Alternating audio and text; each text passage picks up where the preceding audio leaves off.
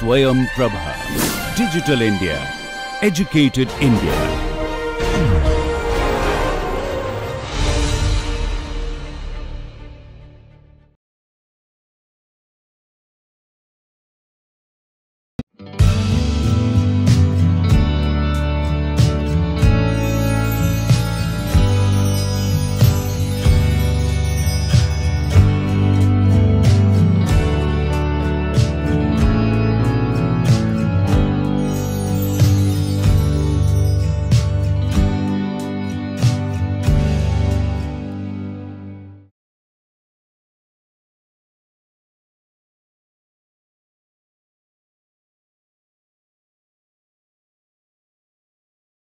Hello friends, uh, today uh, I will discuss lecture number 20 uh, of the course uh, titled Psychology of Stress, Health and Well-being. Uh, so today's lecture is uh, titled as you know socio-demographic factors and happiness. So before we talk about today's lecture, let me have a brief recap of the last lecture that is lecture number 19. So, in the last lecture uh, we talked about the concept of happiness and we basically you know addressed two questions one is what is happiness and uh, second is do we know what makes us happy. So, these two questions we have addressed in the last lecture. So, we have discussed that the concept of happiness you know happiness is an universe is a universal goal that everybody pursues happiness through various ways and various pathways. Uh, particularly and uh, people define happiness in uh, various ways you know. Everybody has their own definition of uh, happiness. And uh, then we have discussed from the perspective of psychological literature that we define happiness or conceptualize happiness in terms of subjective well-being. This is the term that we use we generally try to avoid the word happiness because of so many uh, connotations associated with it. So, subjective well-being or happiness uh, uh, in psychology we typically measure it in terms of you know emotions, emotional experiences and life satisfaction. Uh, so, more specifically uh, higher the positive emotions, lower the negative emotions and higher the life satisfaction, uh, the higher will be your happiness or subjective well-being. So, positive emotions, negative emotions and life satisfaction are generally uh, are the important indicators to measure subjective well-being or happiness. So, from the psychological perspective we specifically mean by this, this is what we have discussed in the uh, last lecture. So, particularly you know uh, the idea that uh, we discussed that is the, with the rise of positive psychology as a branch uh, of study in psychology in the last few decades you know uh, the study on happiness and well-being has really you know uh, increased tremendously in terms of research uh, primarily because now focus is given more on uh, these positive dimensions of human experiences and functionings. And more specifically you know a lot of reliable and valid measures and instruments were developed uh, to you know make reliable conclusions and valid conclusions about these things. Before that it was mostly under the purview of philosophers who are mostly speculating about these things. Now, we have measures and data and based on the evidence based data we can talk about such topics. Uh, then we have discussed uh, one particular model of happiness uh, proposed by Ruut Veenhoven, a sociologist who uh, did a lot of research in the scientific study of psychology, uh, scientific uh, study of happiness, where he tried to define you know happiness particularly you know from the perspective of quality of life and life satisfactions. So, he proposed four qualities of life now which are you know uh, livability of the environment, utility of life, life ability of the person and the life satisfaction and he particularly equated happiness with the concept of life satisfaction. Then we have also discussed the different types of life satisfactions and and the uh, last section of the uh, lecture we have addressed the question do we really know what makes us happy. Uh, in that context we have discussed uh, the concept of affective forecasting and impact bias. So, the idea of affective forecasting is that you know when we predict about the emotional consequences of a future event know, so, we, so if we, if we, if we kind of predict or try to think that if some x event happens in future what will be my emotional consequences. So, affective forecasting talks about that and research particularly shows we generally mispredict uh, uh, while you know uh, predicting about uh, the future emotional consequences of future events. Particularly, we overestimate the intensity and duration of the emotional consequences of a future event. So, and that may influence our decision process. We have uh, looked into all these aspects and we have also discussed the causes behind this of overestimation which is uh, called as you know, impact bias where we overestimate the intensity and duration of a duration of emotional consequences of a future event. And the reasons specifically we have discussed are you know focalism uh, which basically means you know that while we predict about a future event we specifically only focus on that event and its consequences. But when actually that event happens whether it is positive or negative so many other factors influences our emotional reactions. So, that is why while predicting we generally overestimate either positive emotions, positive consequences or negative consequences uh, in terms of happiness or sorrow. Uh, so, these are some of the things that we have you know, discussed in the last lecture. So, today we will talk about socio-demographic factors and happiness. So, this is uh, lecture number 2 of module 7 and overall it is uh, lecture number 20.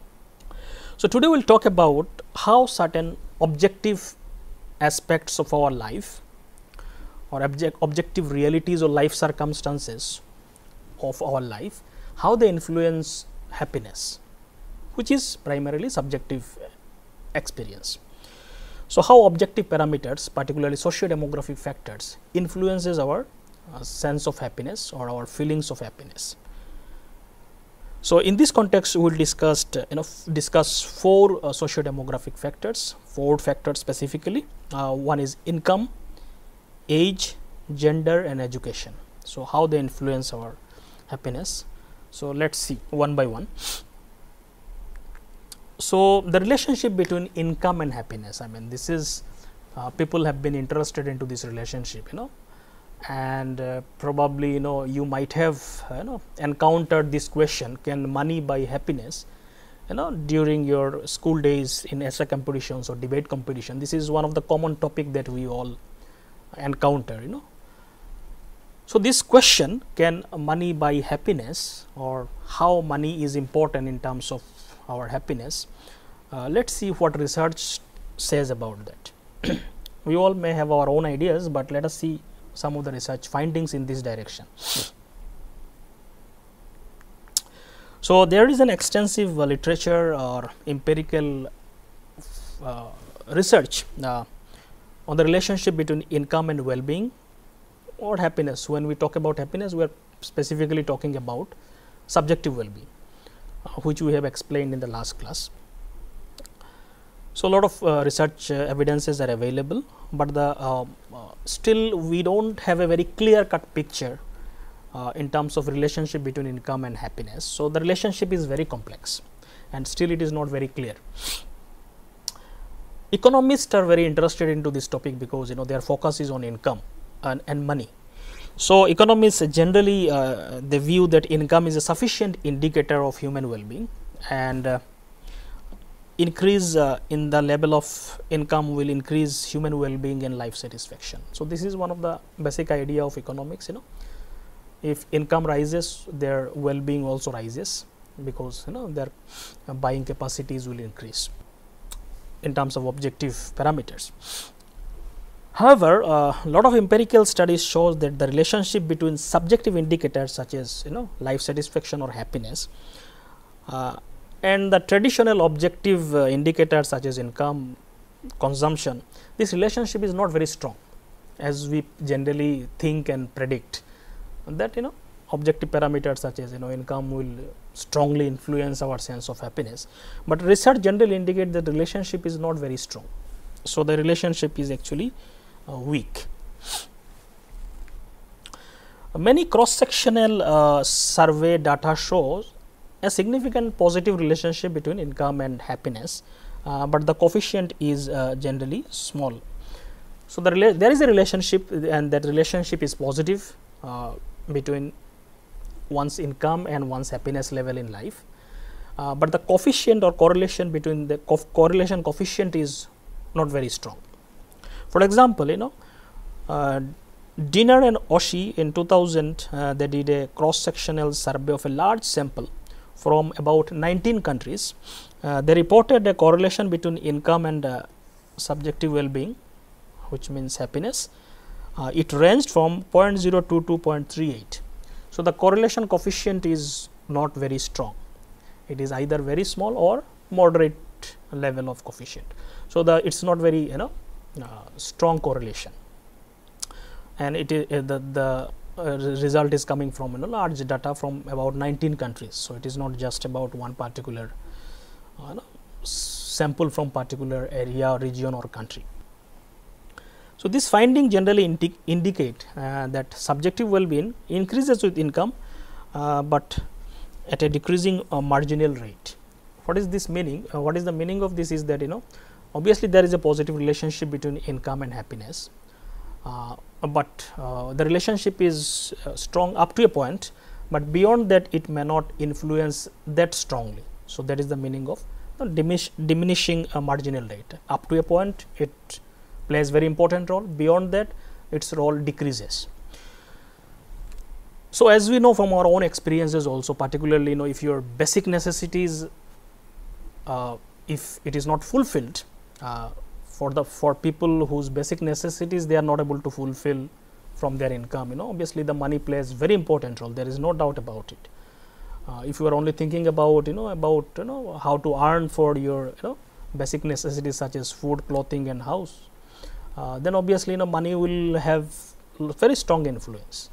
But if one is able to fulfill one's basic need from his income beyond that the role of income will not be that strong so, that is general uh, understanding from the uh, literature and most of the findings shows a relationship in that direction.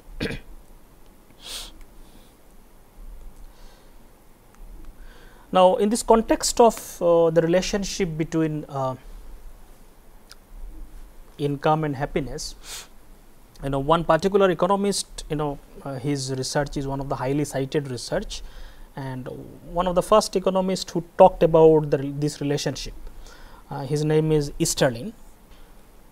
So, one of the main research paper I mean uh, in the literature on income and happiness has been Easterlin seminal article in 1974 he wrote. It is one of the important articles that stimulated a lot of research in the direction of relationship between income and happiness and and particularly because he is an economist and from the economics perspective people started looking at subjective indicators such as happiness. Uh, and he wrote many uh, articles and updated uh, his findings later on also. So, uh, there is a concept called Easterlin paradox which he basically found from large scale data. so, in this paper and uh, many other paper later on, uh, what Easterlin found or reported that you know there is a paradox of substantial real income growth in western countries over last 50 years. So, over last 50 years uh, there has been substantial rise in per capita income particularly in the western countries western developed countries. Uh, but he found there was no uh, corresponding rise in reported happiness level. So, per capita income uh, has been rising in the last few decades uh, in the western countries particularly, but he found there was no corresponding rise in the happiness level in the population of those countries. So, he kind of you know seen it as a kind of paradox. So, the idea in economics was that with the rise of per capita income happiness should also increase, but from the time series data he found with the passage of time per capita income is increasing, uh, but correspondingly happiness level is not increasing, it is almost flat. So, that is the meaning of Easterlin paradox. So, he also found many a few other things we will discuss that also. So, some of the graphs that uh, uh, we can see here for example, this is a data for US from 1973 to 2003 and that shows you know the graph of per capita income rise in per capita income and happiness level in the in the, in the population of uh, United Nations. So, you can see uh, which the dotted line is basically you know uh, per capita income and the black line is for happiness level uh, uh, no, uh, graph. So, you can see the per capita income is kind of gradually rising from 1973 to 2003 this is the data they have analyzed. So, there is a constant rise. However, if you see the happiness uh, uh, the line for happiness it is almost constant you know there was not much rise there are bits and pieces where no there were in some years there was some rise, but mostly it is flat. So, similar uh, results were found for other countries, other European countries such as UK, France, Germany, Italy and Netherlands. Almost similar it is the happiness level seems to remain constant or stagnant in the last few decades, although there was a substantial uh, rise in real per capita income. So, more specifically what Easterlin paradox talks about is that you know at a point in time both among and within nations happiness varies directly with income. So, generally when cross sectional data or when the data were taken at a particular point in time that is called as a cross sectional uh, data. So, generally those data indicates uh, a, a positive relationship between income and happiness. So, the rise in income there is a uh, rise in happiness level, but obviously it is it is uh, up to a point then obviously it is not that strong. But over time in the time series data such as for 10 years and more happiness you know uh, does not increase when a country's income rises. So, generally what he said when, a, when he analyzed time series data with the passage of time what how a phenomena changes uh, uh, what he found is that happiness is not increasing when countries overall per capita income uh, is increasing it is not increasing at that proportion but in the cross sectional data generally shows even within nation and uh, across nation happiness generally there is a positive relationship between happiness and income so this is the paradox that is he is talking about which is called as uh, Easterlin paradox so, in cross sectional data happiness uh, seems to increase with income though at a decreasing rate uh, within and across nations. However, in a time series data happiness does not increase when a country's income increases. So, with the passage of time it is not increasing. Some research indicate that Easterlin uh, paradox may not hold under all circumstances. So, there are some counter evidences to that, but generally uh, the Easterlin paradox you know there are many evidences to it and it indicates some important connection between income and happiness, but there are some evidences which shows it may not hold for all under all circumstances. So, we will not go into that part, but the idea is you know uh, it indicates a very significant relationship between income and happiness in the large scale data particularly time series data. So, what could be the reason behind this that in a cross sectional data generally there is a positive relationship obviously the relationship which may, may not be very strong, but still there is a positive relationship. But in a time series data with the passage of time with the rise in income in a particular country, uh, there is no substantial rise in happiness level in the population of, of countries, particularly in the uh, western developed countries. So, uh, two possible explanations are given uh, for this phenomena. Uh, one is called as you know social comparison theory, another is called as the theory of adaptation. So, these two are generally called as you know uh, relative income theory, uh, which may explain uh, that you know why the rise in income especially with the passage of time is not really impacting very strongly to our rise in happiness level. So, let us see one by one what these theories talk talk about. So, social comparison theory uh, suggests that you know people the idea of social comparison is basically we constantly compare ourselves with other people and we generally don't com just compare with other people any just any other people generally we compare with our reference group with a peer group people who are similar to us. So we generally tend to make comparison with people you know, who are in our peer group or in our reference group. So this is a constant thing that we all do. All the time we keep on compare with ourselves with other people and maybe consciously or unconsciously. And this social comparison plays very important role in our happiness level.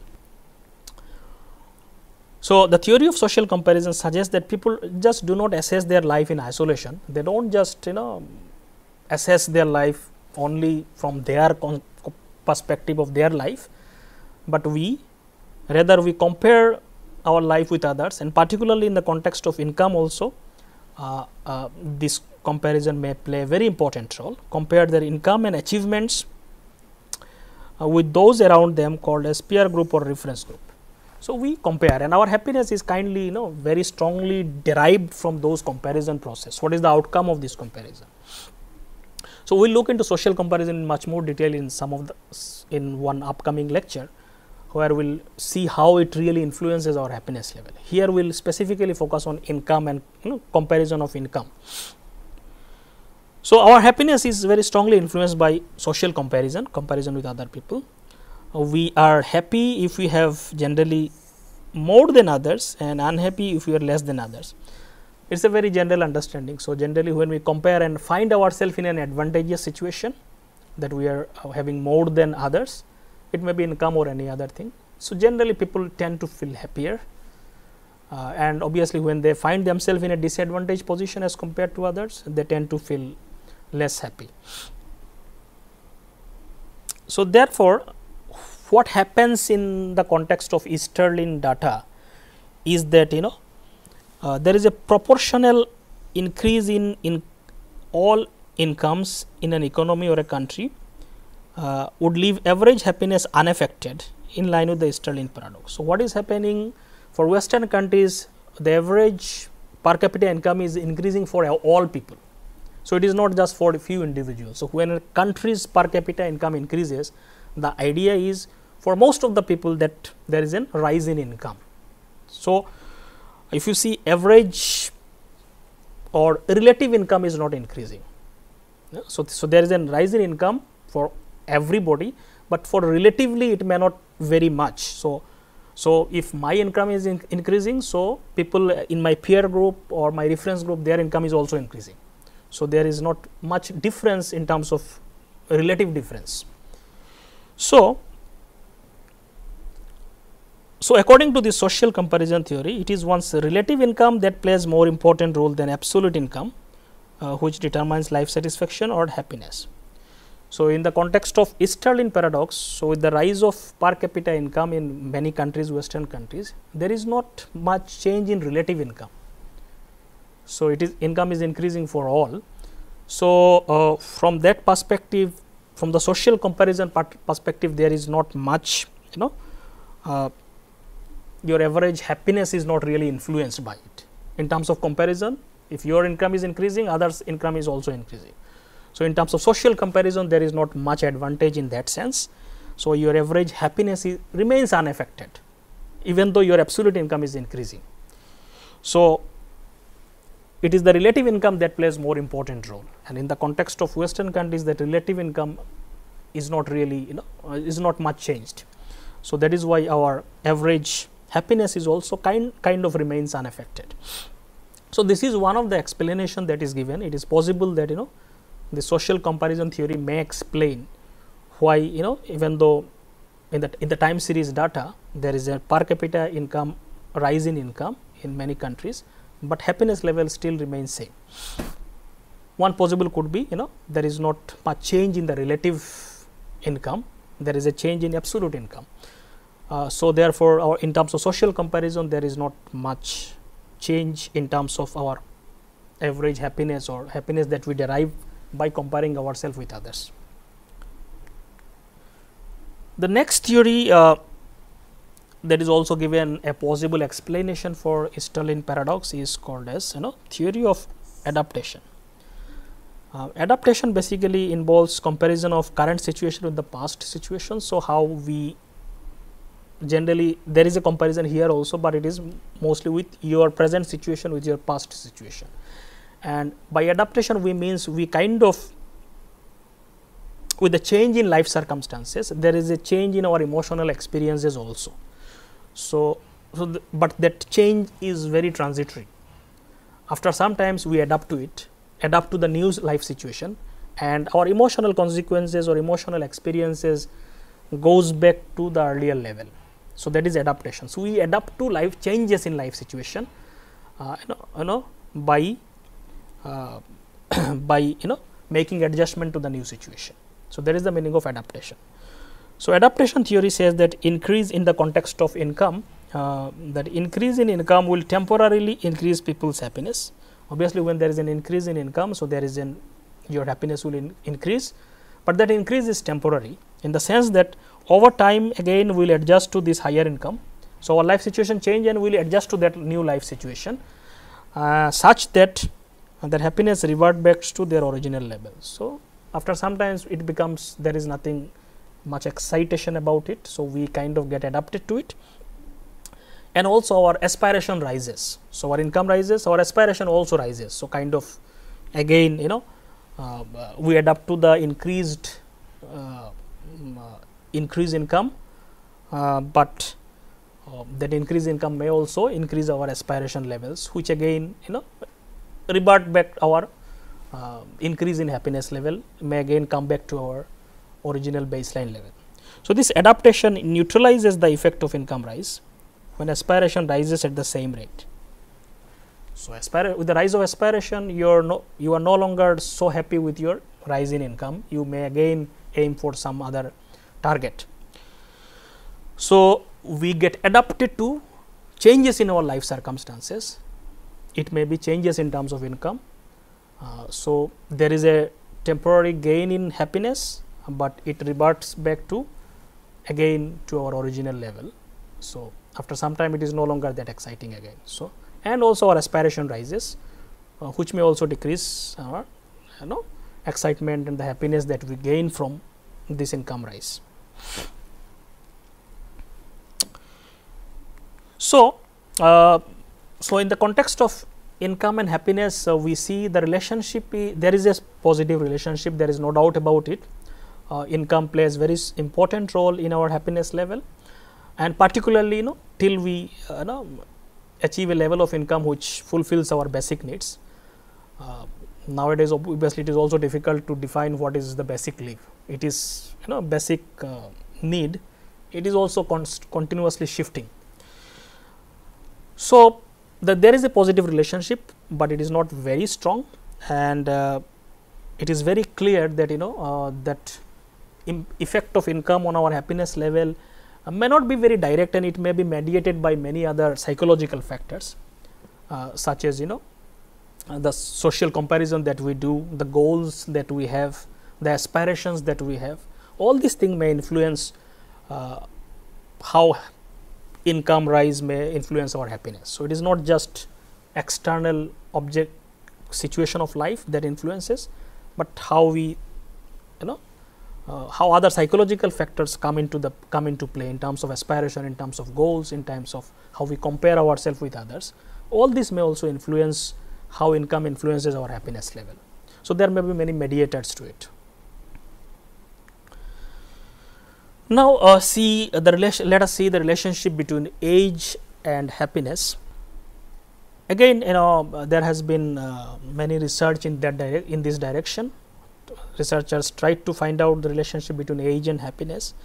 However, there seems to be no clear cut consensus on the direction of relationship between age and happiness. What is the exact relationship? Still, we do not have a very clear cut consensus on this uh, whether no, with the rise of age, whether happiness increases or decreases. Uh, we have all kinds of research findings. So, there is no clear cut evidence that we can talk about here. Some early psychological studies suggested that there is no relationship, there is no age happiness relationship. So, there is no relationship at all. Some research suggests that. Some uh, studies reported that you know life satisfaction increases with age. some studies also shows that you know as we age our happiness level actually increases a growing body of research also suggests you know that the relationship between age and happiness is u shaped so some show there is no relationship some show there is a positive relationship and a growing body and actually a lot of evidence actually suggest that there is a possible u shaped relationship between age and happiness. What is the meaning of this u shaped relationship? So this is also called as happiness u curve which talks about relationship between age and happiness. And this u curve basically uh, means what? Let us see. So many large scale surveys uh, on age and happiness has reported uh, a u shaped curve in the relationship between age and happiness uh, this u shaped curve is also called as happiness u curve now this u shaped curve basically uh, reflects or basically indicates uh, that you know average happiness or life satisfaction is lowest in the middle age which may be from 40 to 50 or 55 or something. So, that is we consider it as a middle age and then again begins to recover and move up after that. So, U shape means uh, the happiness level people generally they report lowest level of happiness if they are they consider their life or if you consider life period uh, from their you know young age to old age uh, people generally uh, report lowest level of happiness in their midlife somewhere between 40 to 50 or 55. Then as, as we become older this happiness level again increases and it is much higher in the younger age also. So, it is lowest in the middle age. So, this is the meaning of U shaped curve. Uh, one of the most comprehensive study in this direction was conducted by uh, these two uh, researchers Blanchflower and Oswald in 2008 uh, who combined cross sectional data over 60 countries and they reported uh, by and large U shaped relationship between happiness and age. So, one of the very large scale data shows there is a possible you know, U shaped relationship between age and happiness. Uh, so, and then many other studies also supported this uh, result. This U shaped was found in many other studies also. And all these studies obviously you know they controlled the confounding factors such as income, health, employment and gender. So, there are maybe many other factors which may influence our happiness. Uh, their impact was cancelled out and it was specifically seen how age and age is connected to happiness. So, obviously, these relationships are always looked at after controlling other factors because they may also influence. So, the, uh, the uh, graph is uh, something like this, this U-shaped curve is so most of the data shows it is you know like this. So, this side if we show you know life satisfaction or happiness.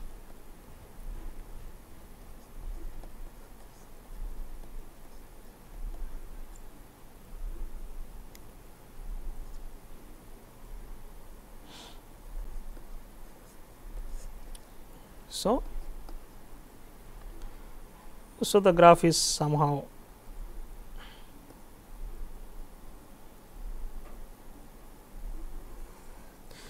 like this. So, this is the meaning of so.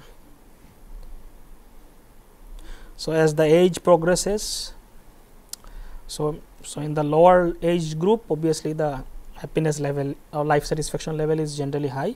So, as we proceed uh, generally you know then it lowers down and it goes at the bottom generally at the middle age then it slowly slowly again increases. So, this is how uh, it is generally a lot of data actually indicates uh, the relationship is something like this. So, again uh, I mean uh, although it is not very consensus kind of finding, uh, but a lot of research indicates there is a possible U-shaped uh, relationship. Uh, so, what could be some possible reasons in that context? You know, at least a lot of data indicates that may not be every everybody shows this relationship, but you know a lot of people at least data shows you know in their life you know there is an U-shaped relationship. So, what could be some of the possible uh, you know, explanations for this? So, one thing is in the people generally talk about you know there is a midlife crisis in the sense that in the, it is the in the midlife you know you have stress and a uh, lot of stress and responsibilities are at the peak. And uh, generally you know some researchers indicate there is some people experience midlife crisis. So in terms of psychological also you feel kind of you know uh, certain crisis where you know uh, you feel no longer you are younger and and almost half of your life is gone. So there there is some possible you know psychological negative impact of that also. Uh, so uh, in terms of anxieties and other things and also in terms of responsibilities obviously midlife is probably where you know you have highest level of responsibilities and stress of life. Uh, so possibly uh, these are some of the reasons where you know uh, possibly for these reasons people may experience the dip in the level of happiness in their midlife uh, which may be associated with the concept of midlife crisis. Again we should remember not everybody goes through a midlife crisis. And uh, this u-shaped curve may not be you know true for everybody. So we should you know kind of keep that in mind. At the older age uh, although there is a physical decline in terms of you know uh, your uh, you know decline in, in, in the in the physical health uh, some research indicate as people become older especially after 60s and 70s you know people uh, generally you know their sense of happiness and well-being also increases uh, then primarily because you know shifting the their focus of life shifts. Now they they are no longer in the workplace with the competition with promotion and all the stresses and burdens of uh, you know life that we experience you know it comes to peak when we are in the midlife uh, after retirement or when we become older focus of our life shifts uh, in the sense that you know uh, we gave more values to social connection in the old age. And we are no longer into social competition too much and comparison and all this fades out in the old age. And we give more importance to social connection. So we may have few people around us and we give more importance to loving relationship with what whoever is around us and maybe you know your spouse, your you know grandchildren, whatever it is. So, our values shifts from too much of competition and comparison, it shifts from those aspects to more social connection. So, that is why uh, people even though in that there is a decline in the health and other aspects, still people experience higher happiness and you know well-being in the old age. So, this could, be another reason why it again increases after midlife. So, these are some of the possible explanations. So, we do not know exactly and these reasons may change from person to person also, but these are some broad patterns that can be used to explain you know this uh, uh, happiness U curve. So, it is worth pointing out that the happiness curve is based on average. So, this curve was basically based on the average taken from data so, that means everybody may not go through the same graph. So, it is based on average from the large scale data. Now, let us see uh, the relationship between gender and happiness.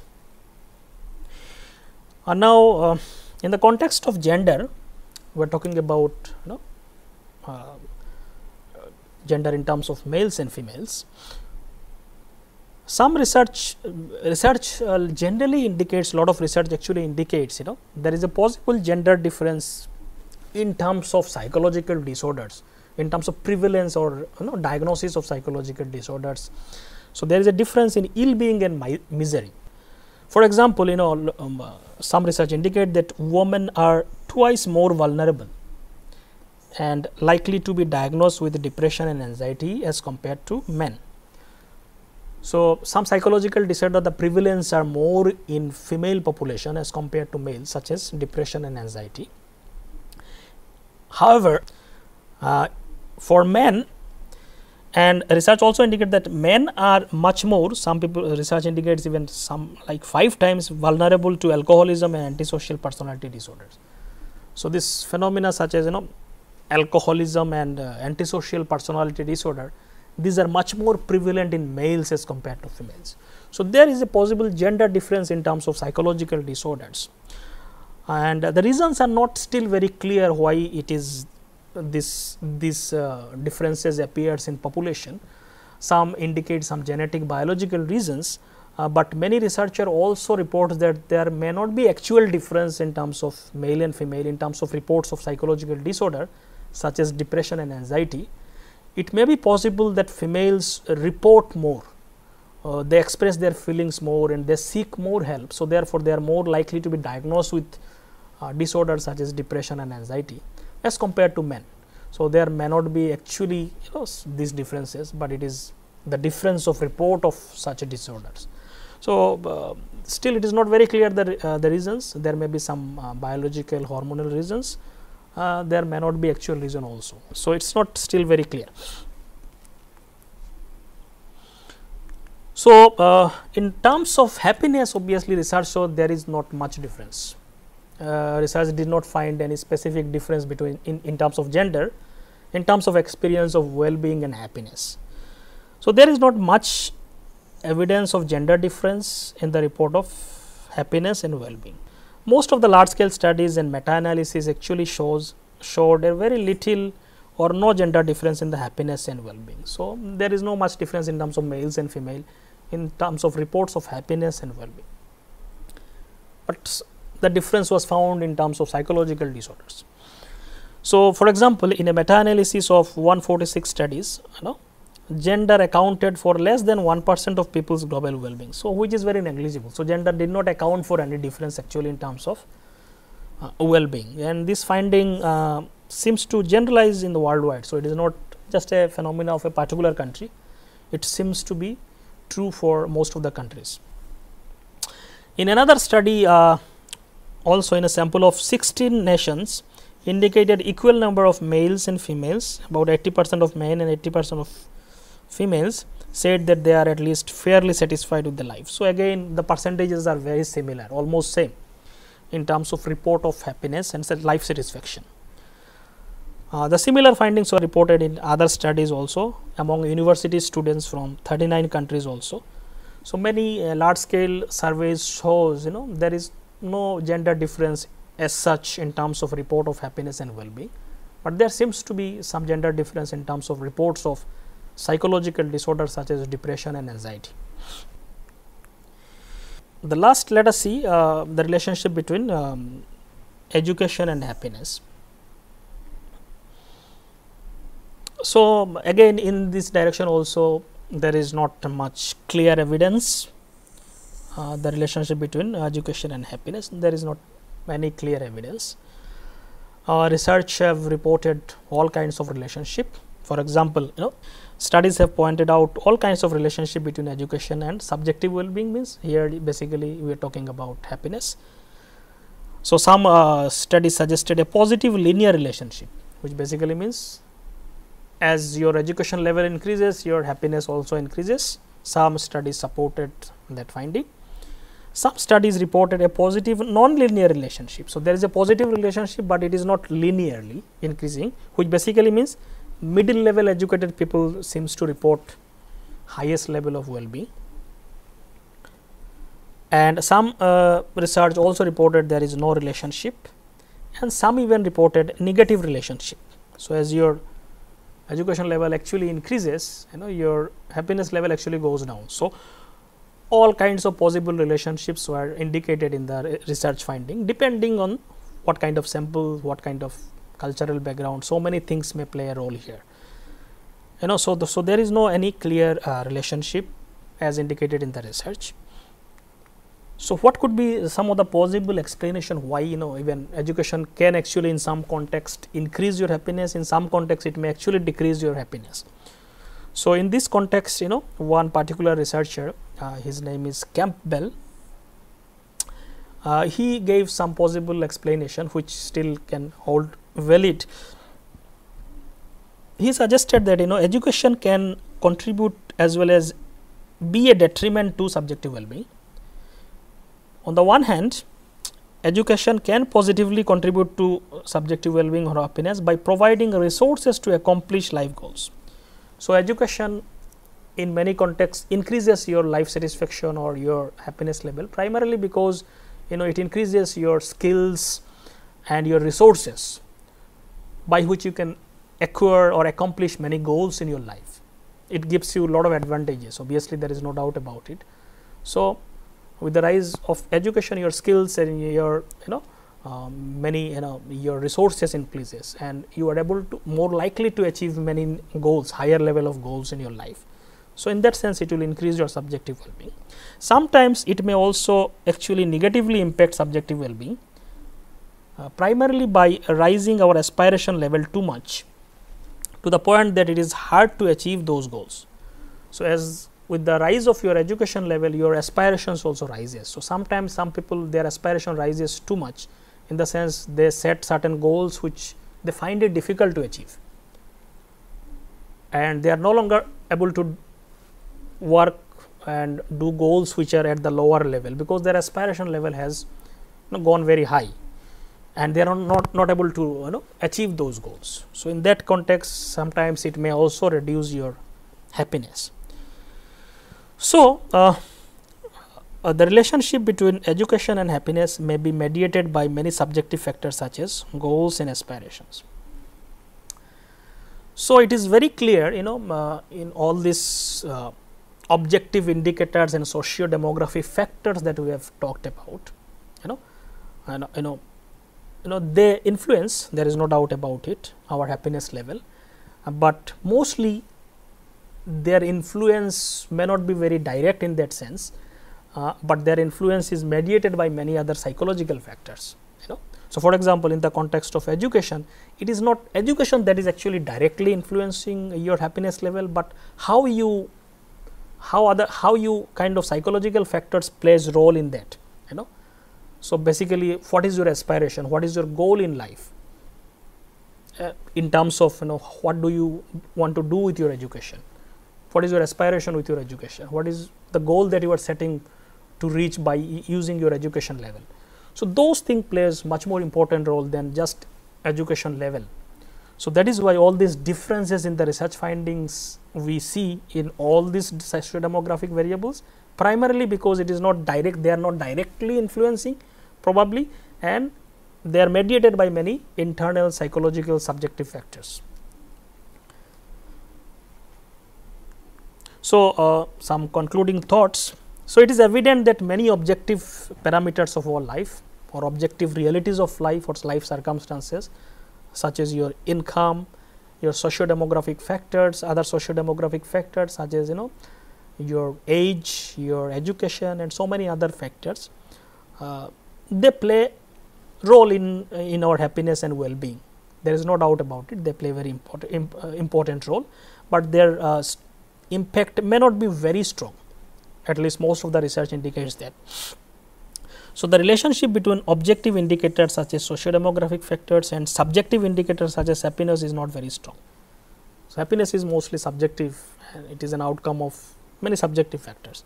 So the relationship there is a relationship but it is not very strong so, uh, ultimately you know it is very clear that you know um, our happiness ultimately largely depends on how we think and deal with those objective life circumstances.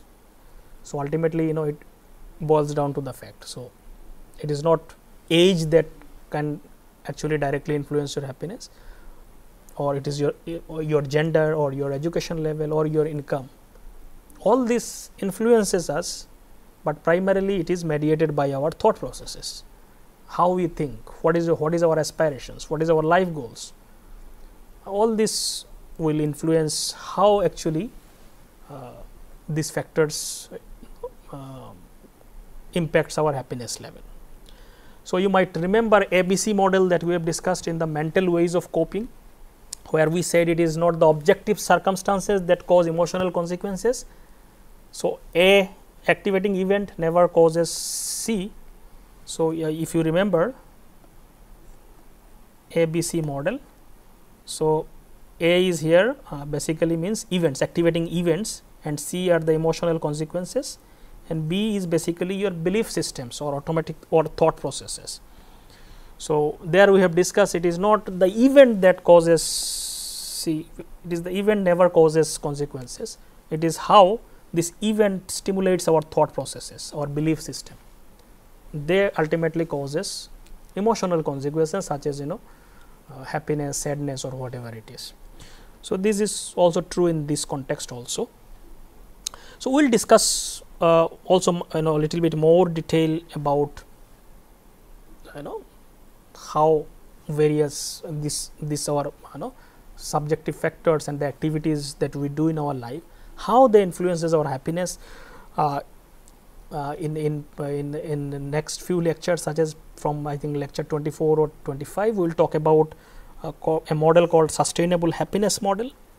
There we'll talk about you know uh, how some uh, how some of these you know mediators or subjective factors may influence our happiness level and how can we uh, work towards a sustainable happiness so we'll uh, talk more details about some of these important factors.